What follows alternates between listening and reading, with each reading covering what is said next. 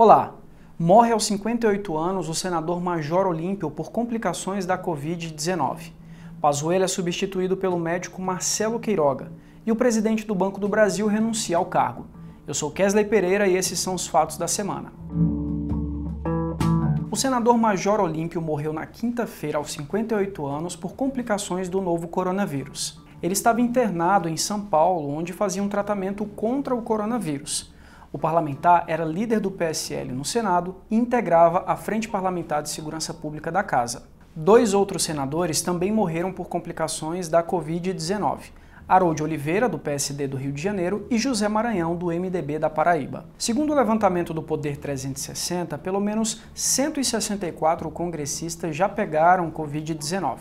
Foram identificados 134 deputados e 31 senadores que contraíram a doença. O médico Marcelo Queiroga é o novo ministro da Saúde.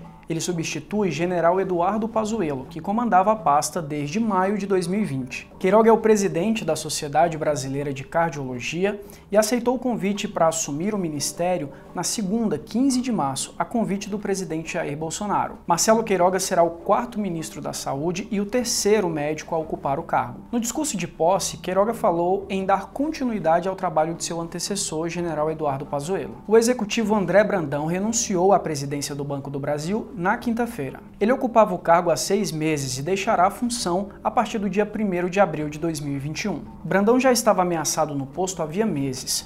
O presidente Jair Bolsonaro demonstrou insatisfação com ele depois que ele decidiu começar uma reorganização administrativa no Banco do Brasil, na qual ele reduziria o número de agências e faria uma demissão de pelo menos 5 mil funcionários. O governo já tem um nome para comandar o BB. O presidente Jair Bolsonaro indicou o administrador Fausto de Andrade Ribeiro, atual diretor-presidente da BB Consórcios, subsidiária da instituição financeira. A indicação foi feita na quinta-feira, momentos depois de Brandão renunciar ao cargo. A troca deve ocorrer até 1 de abril. Gostou desse vídeo?